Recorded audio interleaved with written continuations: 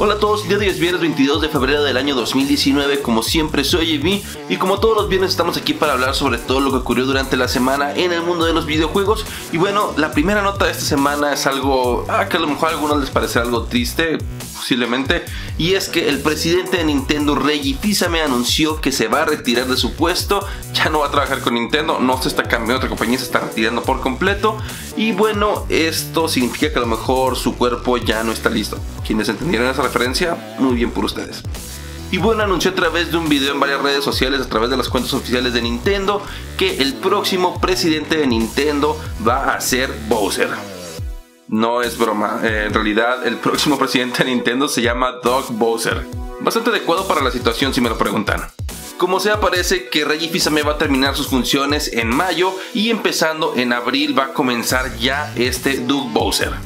Y bueno, Reggie Fils-Aimé ha tenido una carrera bastante larga dentro de Nintendo. De hecho, creo que nada más como presidente de Nintendo de América duró alrededor de 13 años, si no me equivoco. Si estoy mal, corríjanme en los comentarios. Por favor, es bueno tener la aclaración de la información. Y bueno, con 13 años, una carrera tan larga, vienen también momentos bastante icónicos como el de Mi cuerpo está listo, en el cual presentaron la Wii Fit Board, si se acuerdan, era esta tabla enorme para hacer ejercicio yoga con, con Wii Fit. Y cuando le tocó al probar la, la tabla, dijo My body's ready. un momento bastante incómodo y gracioso para todos. De hecho, se convirtió en un meme. My body, my body is ready.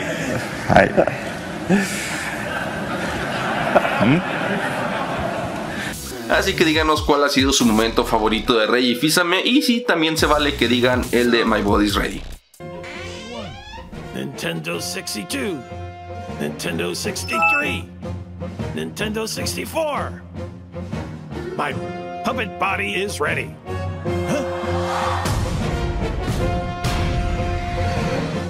Pasando a nuestra siguiente nota, esta es especial porque se podría decir que me involucre un poco a mí al final, y es que bueno, hace dos semanas se llevó a cabo en Reino Unido un festival no oficial de Fortnite al cual le llamaron Fortnite Live, en el cual se suponía que iba a haber diferentes atracciones como por ejemplo unas batallas de baile para los emotes por alguna razón, y también iba a haber concursos de arquería y de escalamiento de pared, de nada que ver con Fortnite realmente. Pero bueno, fue un completo desastre ese festival, lo hacían parecer como si fuera de Fortnite de verdad. Y bueno, ahora varios padres de familia que llevaron a sus hijos a este evento en Reino Unido están demandando a esta empresa organizadora y no solo eso, sino que también Epic Games se metió para demandar a esta empresa por utilizar su marca y toda su imagen de Fortnite en un evento no autorizado. Y bueno, ¿cómo encajo yo en todo esto? Bueno, pues lo que sucedió es que me enteré que en la ciudad de Monterrey, México, una empresa está organizando un evento que también se llama Fortnite Live, solamente que en español, Fortnite en vivo, en el cual en lugar de ser un festival completo, es una especie de show o alguna especie de obra de teatro en la cual se van a presentar los personajes de Fortnite en vivo. No sé qué rayos vayan a hacer aquí, la verdad. Y la verdad me pareció muy gracioso, de hecho de inmediato empecé a buscar el evento en Facebook, vi el póster, lo descargué y lo publiqué en Twitter, etiquetando a las personas que habían hecho el reportaje inicial de la versión de Inglaterra y bueno, una de esas personas contestó etiquetando a la persona de PR de Epic Games. Para los que no saben qué es PR, bueno, es la persona encargada de las relaciones públicas de Epic Games. O sea que prácticamente alguien dentro de Epic Games ya se enteró de todo esto y posiblemente si llegan a cancelar este evento ah, fue mi culpa. Pero pasando a otros temas, ahora empecemos con los leaks y los rumores que se dieron durante la semana, ya que esta semana hubo bastantes cosas de rumores y filtraciones, comenzando con que de acuerdo al canal Direct Fit Games, bueno, asegura que tiene fuentes que le dicen que Microsoft y Nintendo están más unidos de lo que parece, ya que Microsoft está trabajando en publicar Ori and the Blind Forest para el Nintendo Switch. Esto marcaría un paso o un cambio interesante para Microsoft que últimamente lo hemos visto intentando hacer que sus productos sean accesibles para todo el mundo en cualquier plataforma, como por ejemplo crossplay. Y bueno, yo sé que ya teníamos Minecraft anteriormente en otras plataformas que también le pertenece a Microsoft, pero esto creo que es diferente porque previo a la compra de Minecraft ya estaba este juego en otras plataformas, entonces simplemente yo creo que lo respetaron. Pero de acuerdo a este rumor, esta alianza extraña entre Nintendo y Microsoft no va a terminar ahí, ya que también supuestamente están trabajando en desarrollar una aplicación de Xbox para Nintendo Switch a través de la cual vas a poder accesar tanto a Xbox Game Pass, el servicio que están haciendo tipo Netflix para poder descargar todos los juegos que tú quieras a la carta, y también para implementar su proyecto xCloud, que es el servicio de streaming que también ya va a empezar su versión beta durante este mismo año. Y por último, de acuerdo a este rumor, desde este mismo año 2019 podríamos comenzar a ver los primeros anuncios de esta alianza, como les digo, un poco extraña entre Nintendo y Microsoft, comenzando muy posiblemente con el port de Ori and the Blind Forest. Así que díganos a ustedes qué juego les gustaría, por ejemplo, jugar en el Nintendo Switch que le pertenecen a Microsoft, a lo mejor Halo 5, sería interesante verlo por streaming. díganos qué les parece porque creo que esta posibilidad tiene mucho potencial y me intriga bastante para qué significa esto para Xbox hacia el futuro, como más bien una plataforma que te brinda servicios en todos los dispositivos en lugar de un dispositivo exclusivo donde puedas encontrar todo. Es interesante, así que díganos en los comentarios qué piensan de esto. Es una discusión, wow, interesante. Y ya que estamos hablando de Nintendo, nuestro siguiente rumor es de Pokémon, en específico el juego que se había anunciado para 2019, en el cual se va a incluir la nueva generación de Pokémon. Y tal vez también algunos de ustedes conozcan a Junichi Masuda, el director de estos juegos, y tal vez sepan que es muy bien conocido por poner publicaciones en sus redes sociales con mensajes ocultos o a lo mejor algunas referencias para pues predecir un poco lo que va a venir después. Por ejemplo, antes de que se anunciara Pokémon Let's Go Eevee, Pokémon Let's Go Pikachu, Masuda estuvo publicando bastantes fotografías en las que de fondo aparecían peluches de Eevee y de Pikachu y de inmediato los fans descubrieron que bueno, esto eran puras referencias hacia Pokémon Let's Go Eevee, Pokémon Let's Go Pikachu, que esos iban a ser los títulos y resulta que estaban en lo correcto porque así se llamaron los Pokémon del año pasado, y bueno, parece que otra vez estamos en las mismas porque publicó esta imagen en la cual, bueno, capturó a un Weedle en Pokémon Go. Y como era de esperarse, los fans de inmediato comenzaron a sobreanalizar esta imagen y descubrieron que supuestamente va a haber un anuncio del siguiente Pokémon el próximo 26 de febrero, eso es esta semana que viene, y que se van a llamar Pokémon Queen y Pokémon King. De nuevo, no me pregunten cómo fue que descubrieron esto. Y para agregar más leña al fuego, ahora la cuenta de Twitter Gumus, quienes por cierto predijeron con exactitud todos los anuncios que se iban a dar en el Nintendo Direct pasado, bueno, ahora publicaron simplemente Pokémon Soon o Pokémon Pronto. Y también se filtraron estas imágenes, junto con estas otras. Pero los rumores de Nintendo no terminan ahí ya que esta semana surgió el pequeño rumor de que tal vez Nintendo vaya a revivir a Scalebound y lo vaya a publicar en exclusiva para Nintendo Switch. Todo comenzó cuando el editor senior de Game Informer fue invitado a una sección de Kinda Funny Games y bueno, mencionó que próximamente iba a empezar a hablar y escribir sobre un juego que estaba cancelado, un juego muerto, que Nintendo estaba planeando revivir y lanzar al público. No dijo en específico cuál es y dijo que iba a empezar a publicar en cuanto tuviera más información, pero aparentemente es un juego que según él está oficialmente cancelado y que todos saben esto. Y claro que de inmediato comenzaron a surgir los rumores y las especulaciones de cuál podría ser este juego y uno de los más mencionados fue Scalebound. El juego de Microsoft que fue cancelado hace bastante tiempo iba a ser una exclusiva para Xbox One, pero después de un tiempo aparentemente dijeron no vale la pena, tenía bastantes problemas, de hecho los demos que se mostraron y también el gameplay que se mostró tenían bastantes, bastantes retrasos, bastante lag y corría muy muy mal en el hardware del Xbox, así que aparentemente por esto Microsoft decidió cancelar el proyecto. Esto en un principio me pareció algo completamente ridículo, sin pies ni cabeza, porque la IP de Scalebound le pertenece a Microsoft y de hecho lo último que supe era que ellos habían renovado la marca o el registro de la marca para que siguiera a su nombre. Pero resulta que Microsoft abandonó por completo la marca Scalebound recientemente y si buscas los registros, que por cierto la última vez que se renovaron fue en 2017, en este momento todos están marcados como abandonados. Puedes en internet buscar los registros en diferentes países y creo que en el único en el que sigue vigente es en Brasil por alguna razón, pero no me sorprendería que en los próximos días, meses, como quiera, vaya a aparecer como abandonado o cancelado. Lo cual obviamente significa que cualquier otra persona, cualquier otra compañía podría llegar a pagar el registro por utilizar esa marca. Y solamente un día después de esto, el sitio Nintendo Insider publicó un artículo completo en el cual aseguran que de acuerdo a sus fuentes, el juego en el que está trabajando Nintendo para revivirlo es en efecto Scalebound. Y adicionalmente Alan Pierce ya había dicho anteriormente que había escuchado por varias de sus fuentes que Scalebound iba a regresar de alguna forma pero ya no como una exclusiva de Xbox One. Y de hecho en este momento el internet parece estar muy dividido entre el equipo sí va a ser Scalebound y el equipo no, no va a ser Scalebound, no tiene ningún sentido. Yo sé que se escucha como una locura, pero sí existe una muy pequeña posibilidad que sea. Sin embargo, hay que tomar en cuenta unas cosas que apuntan a lo contrario. Como por ejemplo que fuentes internas de Platinum Games, que eran los que lo estaban desarrollando originalmente, están diciendo que no han escuchado absolutamente nada de este tipo de desarrollos para Scalebound dentro de Platinum y también que ex trabajadores de Platinum que trabajaron también en el proyecto de Scalebound están diciendo que esto es una locura, que es prácticamente imposible y que como tenía tantos problemas incluso corriendo en el Xbox One, sería muy difícil hacerlo correr en el Switch y sería más barato simplemente rehacer un juego completamente nuevo y no pagar tanto dinero por una franquicia que no tiene tanto renombre, simplemente es un ah, lo que hubiera sido. Aunque también tomen en cuenta que podría ser la segunda opción de juegos que posiblemente revive Nintendo, que es Project Hammer, un juego que se había anunciado originalmente para Nintendo Wii y que bueno se tuvo que cancelar porque tuvo bastantes problemas y porque la visión original no se pudo realizar y creo que esto costó bastantes trabajos porque creo que cerraron un estudio completo por esto. Fue un episodio bastante oscuro en la historia de Nintendo Project Hammer.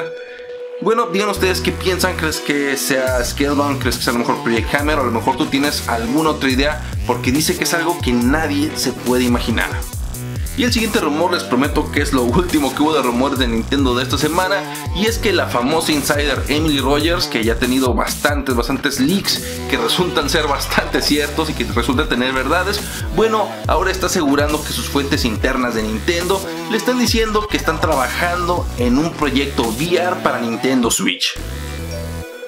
Ah, de hecho era una notificación de que Andrew está streameando, lo voy a poner ya en silencio. Pero regresando a donde estaba de acuerdo Emily Rogers, este proyecto VR de Nintendo se podría revelar desde este mismo año 2019.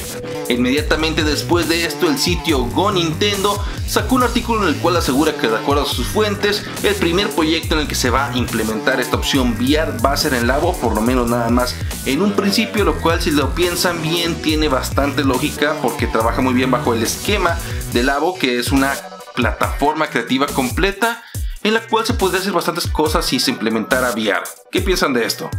Pero pasando a nuestro siguiente rumor, tenemos que el data miner Oatmeal Dome encontró código en Tetris 99 que sugiere que ya hay más modos nuevos que vienen en camino.